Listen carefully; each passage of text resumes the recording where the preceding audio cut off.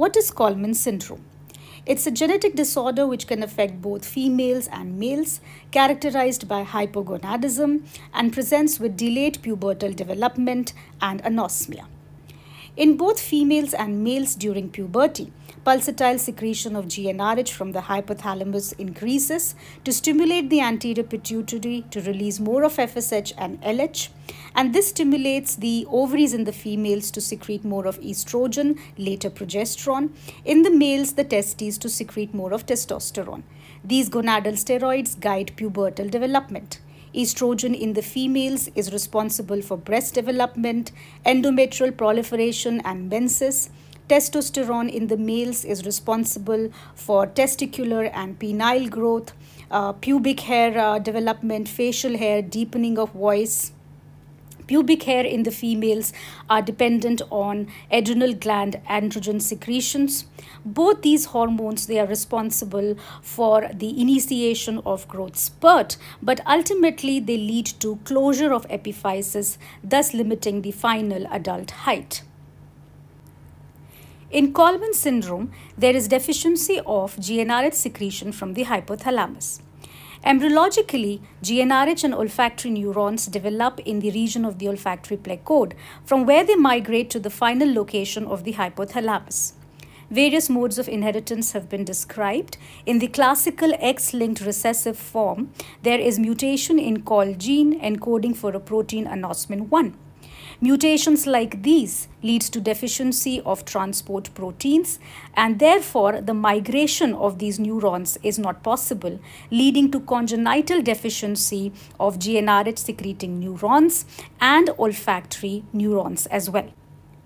This leads to decreased GnRH production during puberty, which leads to decreased FSH and LH secretion. In females, there is lack of follicular growth and decreased estrogen, no ovulation, therefore decreased progesterone, and decreased testosterone in the males. A condition that we call as hypogonadotropic hypogonadism. Deficiency of olfactory neurons leads to anosmia or hyposmia. Hypogonadism leads to delayed sexual maturity in both. In females, we see absence of breast development and menses. Pubic hair develop because of adrenal gland androgens. In males, we see underdeveloped testes and penis. Pubic hair, although present, can be scanty. Deepening of voice won't be there. There is decreased facial hair. The muscle mass is also decreased. The growth spurt is there because of growth hormone and insulin-like growth factor, but deficiency of gonadal steroids ultimately leads to failure of epiphyseal closure and individuals are tall with long legs and long arms.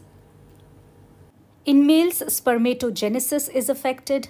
They have low sperm counts.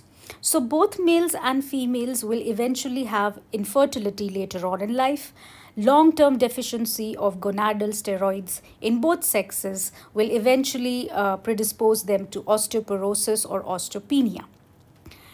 The management of delayed puberty in these individuals involves hormone replacement therapy to induce pubertal changes. Often uh, this is continued lifelong. In females, it's in the form of estrogen and progesterone therapy. HCG injections can be given to males to stimulate Leydig cell testosterone production or directly exogenous testosterone can be given. Treatment of infertility is possible in some cases by exogenous gonadotropins or pulsatile GnRH administration.